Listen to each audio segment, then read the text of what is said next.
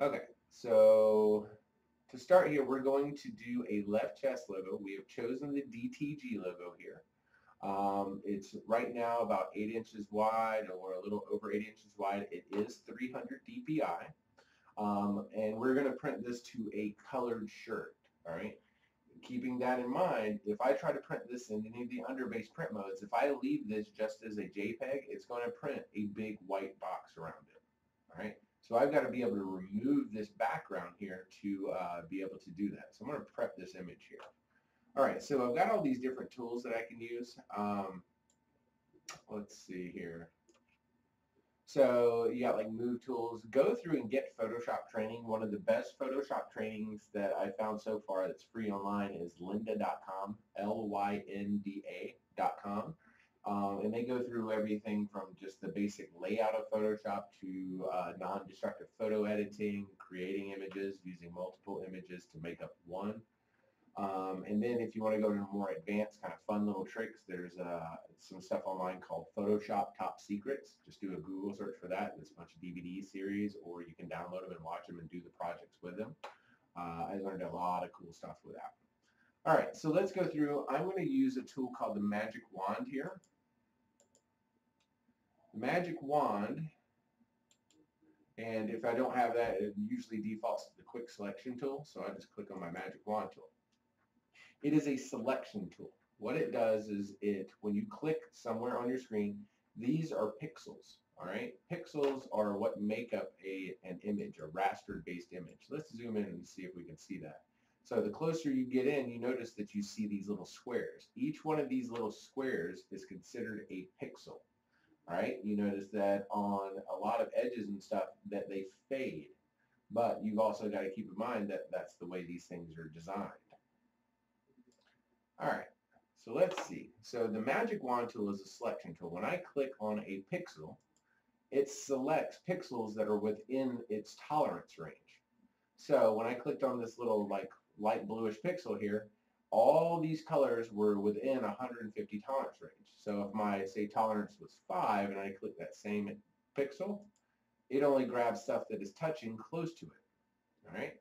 Then I also have a feature called contiguous. Contiguous means touching.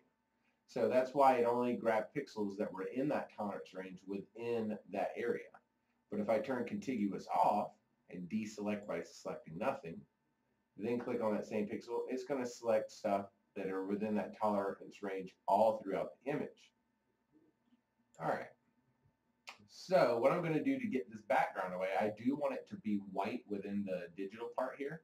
But I'm going to get rid of this little blue speck that's not supposed to be there, and I'm going to get rid of the background here.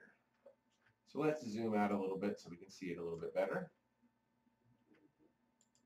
All right, and then I'm going to click here in the white.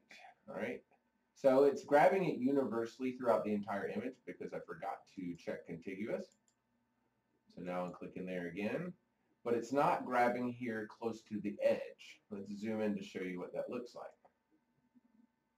So it's not grabbing all those pixels around there. Let's hit Control D to deselect. So if I zoom in here, you notice that there is actually a little bit of color around here. Your computer picks up everything. All right, so let's see what we can do. Let's go back to the magic wand. I can do that by hitting W on my keyboard as well.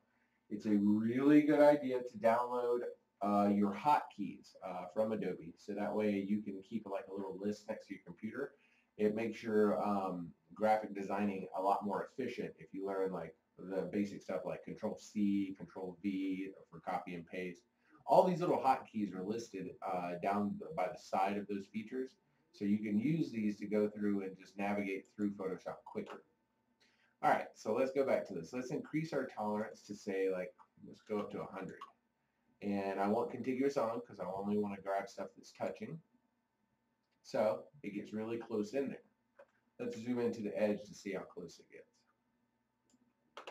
All right, so it's right there. I notice that it's going to grab everything that I need.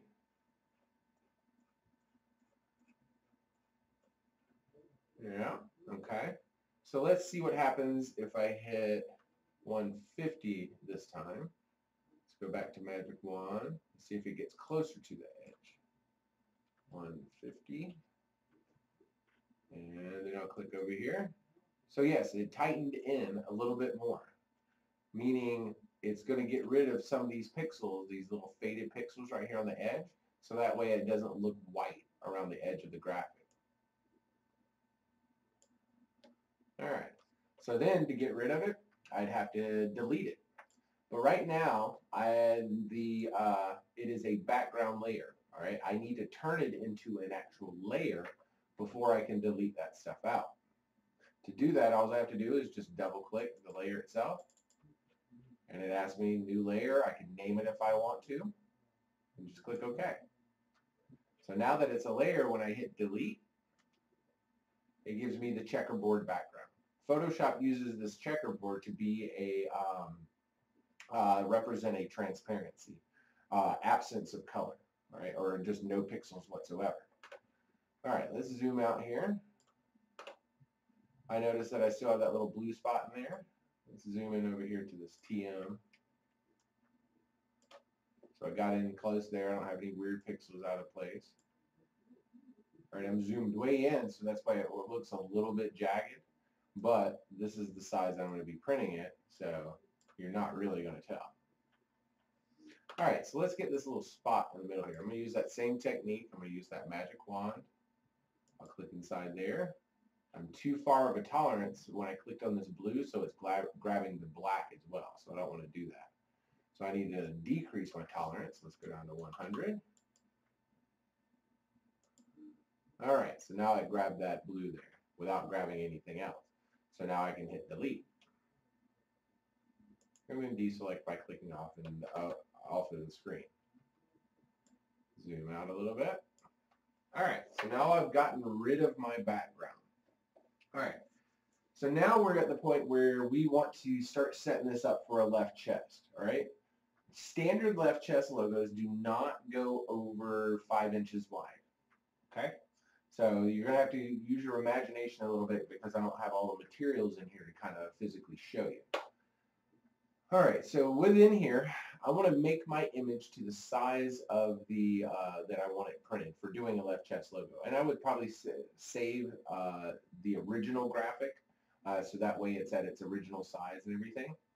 Um, so that way I don't mess up the original. All right, so let's see. Let's go up here to image. I want to make sure that my image is centered within here, that I have the same distance from the bottom of the image, top of the image, edge, and so forth. So a cool little tool that Photoshop gives you is a thing called trim. So what I can do is trim away uh, the uh, canvas that does not have pixels in it. So let's see, let's just go, let's clear out the transparent pixels from the top, left, bottom, and right. So now you notice that it kind of trims into the image. So I know for a fact that this image is centered within this canvas here. All right, so now we're going to make it to the size that we want. So I'm going to go to Image, Image Size. All right, so the width, remember I said it shouldn't really go over 5 inches wide or just too wide for a standard left chest. It looks like it would be like a front, uh, like a full front logo versus just a left chest. So usually standard for a left chest logo is like three and a half to like four and a half, somewhere in there. So we're just going to go, I'm going to just do this and pick a number, four inches. So you notice that it, uh, it adjusted the height as well because I have a little lock feature. So I'll click OK here. Now I've got an actual 4-inch logo, DTG logo, that I want to print to a left chest. How do I get this in a specific spot so that way if I have six, say, small shirts, that the logo hits in the exact same spot? So this is where the fun part comes in. Okay, so what I can do is I will go to like Office Depot or something like that, and I will pick up a, a mouse pad, like one or two mouse pads that are kind of the thicker ones, the real cushy ones. They're, they're probably about a quarter inch thick. All right, that's the one you want to look for. Um, what I want you to do to that mouse pad is to cut it to a 5 by 5 square, perfect square. And, and then what we're going to do with those mouse pads, we'll just set those to the side for a second. So put that over in your mind. All right, so now I have an image four inches wide and I'm going to put it in a specific spot on my printer so that way I move the shirt to the design instead of the design to the shirt. It makes it a lot easier. All right, So let's see. Let's make the canvas size, instead of the image size, the background, to be 5 by 5.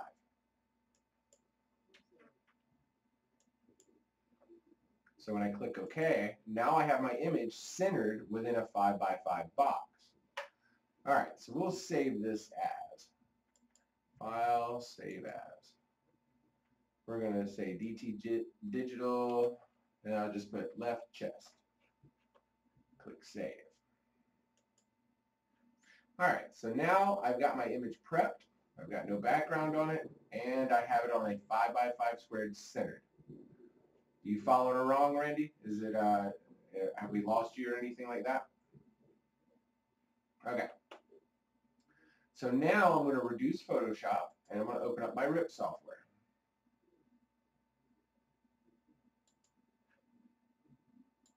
So under the RIP software here, I'm going to choose the graphic. Let me go ahead and install my, uh, I don't think I have the M2 installed on here yet. Yep, let me go ahead and add this real quick. next. So that way you can see your setup instead of the Viper 2. It's a little bit different.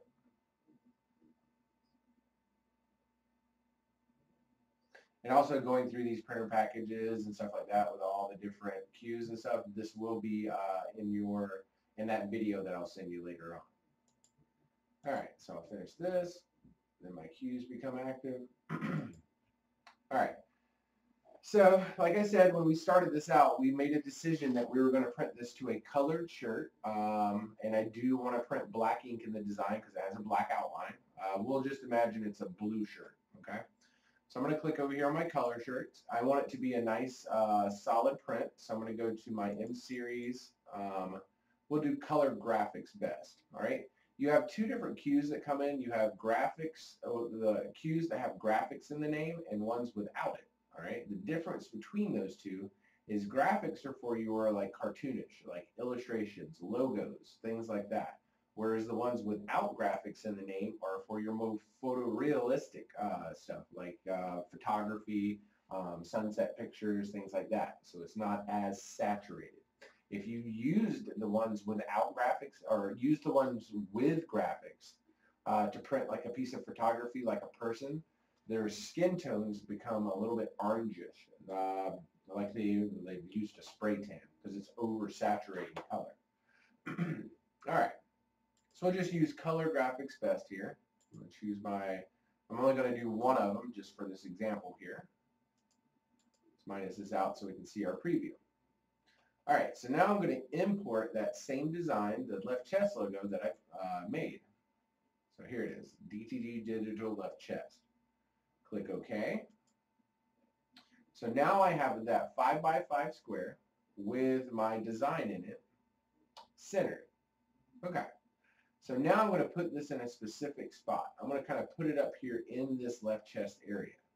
So I'm going to do it 6 inches over from the left and then 1 inch from the top. So that's kind of in that left chest area. Now, we're going to hold this here for where we get ready to print because I got to be able to put that mouse pad on my printer at a specific spot so that way I know that this logo is going to hit it. So let's go back to Photoshop real quick. Let me show you a little trick. All right, so from here, what I can do is I uh, Photoshop works in layers. So I have my layers palette over here. All right, so what I'm going to do is I'm going to click on a new layer. I want it to be above the uh, layer that has the color in it. So I've now got this one on the bottom and this one on the top. So I'm going to go over here. I'm going to click on uh, my foreground color to be white. All right. And then I'm going to paint bucket fill this, uh, let's see, paint bucket tool. I'm going to fill this area with white. So now I've got a white box that is exactly 5 by 5. Now here's my little trick. So I go down here to this FX button, which is where you can add different uh, styles and stuff like that. I'm going to add a stroke. Stroke is an outside line uh, that goes around the outside edge of a particular object. Our object happens to be a 5 by 5 box. All right, so then I can do it at 1 or 2. uh, so that way I can see it. And I'm going to change the position of the stroke to the inside, all right? Because you have three choices. Outside, that means the stroke would be on the outside of the 5x5, so you wouldn't be able to see it because it's outside the document area. Centered, half of that line would be on the outside, half of it would be on the inside, so it would be a really thin line. So I'm just going to go to the inside, so that way it puts the stroke on the inside of the object. So that way the outside edge of that stroke or that line will be exactly 5 by 5. So I click OK there. Can't really see it because it's just right on the edge here and it's black. Okay, so now I'm going to save this again. Control S. Go back to my RIP software. And instead of going to my color shirt, because I don't want to print an underbase or a big white square, I'm going to go to my white shirt queue.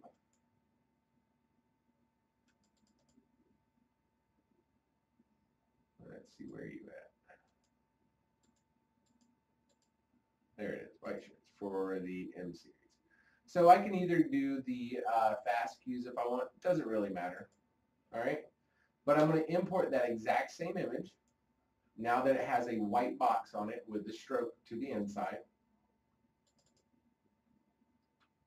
So now I can see that little white box there. Now, the reason I chose the white shirt queue is because I had a white box. I don't want to print white. So the white shirt queues don't print with white ink. They only print with color. So the only thing that's going to print is that black stroke. Kind of following along here. So let's see, let's minus this out a little bit. And I'm going to put this in the same place I put my other one. Do six inches over, one inch down, all right? Then I will physically print this to an empty platen. All right, if I was doing two of them, I would go to two up same and I would put this both in the, the exact same position. So then it would print that black box directly to my platen. All right, so now I have a black square on my platen that's exactly 5 by 5.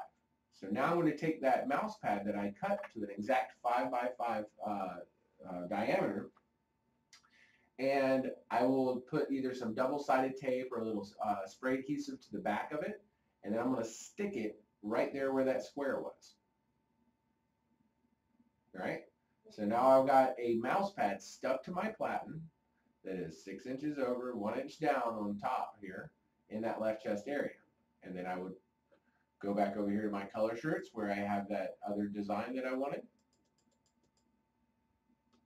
And guess what? I've got that same square, but without the white box, just the logo in there, at exactly 6 inches over, 5 inches down. Alright, so let's see. Let me, then I've got to prep the shirt. Alright. Let me see if I can find an example of a shirt real quick, just an image of one.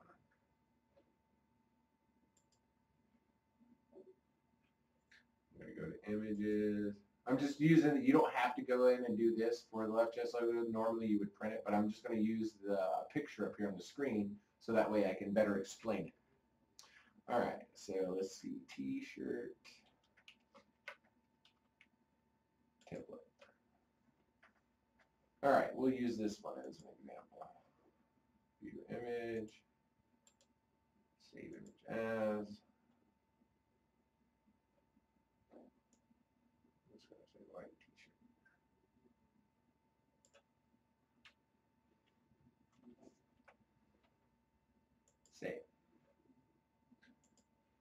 Let's see, let's open this up so I can show you here what I mean. So then I would start getting my shirt ready. All right, the shirt, say it was on my table here, okay? I know the standard for left chest logos, all right, is to find the center of the design and put it to a specific location. Uh, I got that information from uh, doing embroidery, right? This is where I came up with this trick because I can always find the center of the logo. All right, so to find the center of the left chest where it should be, what I do is kind of draw an imaginary line straight down here. It looks sort of like, let's see if I can do this real quick. Kind of a straight line down this way. let's, uh, and I'll paint bucket fill it so you can kind of see it.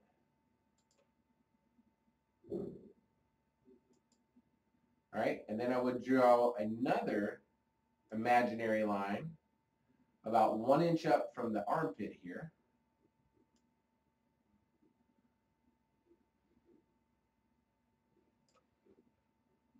You booger fill.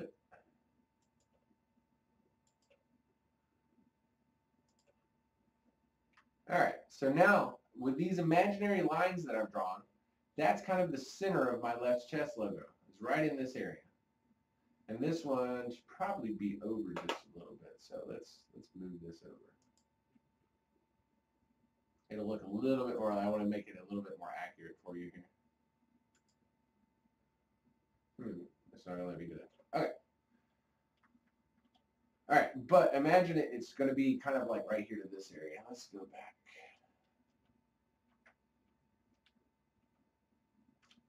We'll move this over some.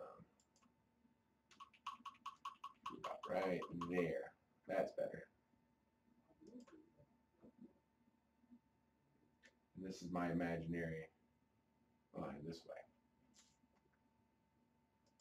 Okay, so that looks a little bit cleaner. So this would be your standard for finding a left chest logo center. All right. So what I would do is I would lay my shirt on the table here. All right. And then I would kind of use my finger, draw down, and then draw over. And then I would use like um, like a tip of a ballpoint pen, but without having uh, the actual pen part extended, like a push button pen. And I would make, I would press a little dent in the shirt so that way I have, it's marked it. So once it's marked, that's the center. All right. So then what I do, and I've already had the shirt pre-treated um, and kind of pressed and ready to go, mark my center. And then what I'll do is fold the shirt directly in half Oops. Sorry about that. Do it directly in half here. And then fold it. And then kind of press it with my hand down the side so it kind of creates a seam going right down the center there. There we go. So it has a seam that goes right down the center. I just press it in my hand, like hold it up and just kind of push it down. So now I've got this little fake little uh, seam going down here to find the center. I have my dot that I pressed in with a pen, all right, without leaving any ink on it, of course, all right. So then I'll come back over to my platen. When I'm putting it on my platen here, that center line will be kind of towards the center, and I'm going to place that dot that I made directly in the center of this mouse pad that's on my platen, all right. Followed along? Good deal. All right, so then once I have that hooped, and even a little bit of the collar can be up here, so that way it will, um, uh, it, the mouse pad will raise the printed area above where that collar comes up. And this will pop up on like uh, like small or youth shirts and stuff like that, where it'll be up on the platen. So if it was up on the platen and I didn't have this mouse pad here, that means that collar would be higher uh, than the, uh, the printed area, which is your left chest area. So that's why I put that mouse pad there. Plus it gives me a visual. So then I have the dot in the center. I have that seam that's basically following the edge here. If it was kind of going at an angle, you know your shirt's not straight. So that gives you the uh, kind of a visual of keeping your shirt straight. So it would go, your little center line that you kind of folded and pressed in would be right here in the center of the platen. Or not in the center of the platen, but just uh, make sure it's that center seam is uh, parallel to the edge of the platen. So that way you know it's straight. Then I would push my platen in manually, so that way that the, the, the cover would be going across right around this mouse pad. So that way that the little uh, gap lasers uh, pick up where I'm printing, which is the pocket. All right. I always manually unlock the head and slide it over above the pad to make sure it's not going to hit it. So I'll bend down and make sure it's not going to get too close. The proper gap between the top shirt surface that's supposed to be printed and the bottom of the print head is about two millimeters. It's about the size of a nickel. Right? Then I would hit print. And I would repeat that process for the same for each shirt. Now by marking your shirts, that mark is going to be in a different spot on depending on the size of the shirt. So And it'll be a standard, so your extra large will still be where it needs to be because you're drawing down from that collar and over from the armpit, and they're cut differently. So that way when you've got all these people standing up for a company photo, your logos won't be going one up here on their chest, one to underneath their armpit, stuff like that. It's got to be consistent. So basically what you're doing is moving the shirt to where the graphic is going to print. Makes it a lot easier. And you don't have to buy any specialty platens or anything like that. So don't ever say we didn't do anything for you. I saved you a couple bucks here. All right. Any questions on that? That pretty much, did you kind of get everything or? It's a pretty simple process. I mean, a lot of people don't think about it that way, but I mean, once you start understanding or thinking like a printer, you can always tell the printer to print to a specific spot. Now, if you just had a shirt hooped up there, and whether it be large, do I put it down two inches? Do I put it down one inch? Then it becomes all confusing, and then you got to write all these numbers down so you remember it the next time. So this just gives me an actual visual. I can actually see this mouse pad on there and I can see my dot, I can see my center seam, and I can make sure that it uh, stays centered and that the uh, location will be, I mean, you, you do have a fudge factor and it's kind of the industry acceptable that you can be, say, a quarter inch off. That, that's perfectly fine. But when you're like, one of them's an inch higher than the other, that's when you start having issues. All right. So hopefully this was informative. And I did record this, so I will save this and um, I'll send that video as well if that helps out. So let me go ahead and stop the recording now that we've finished. And hopefully this has been informative.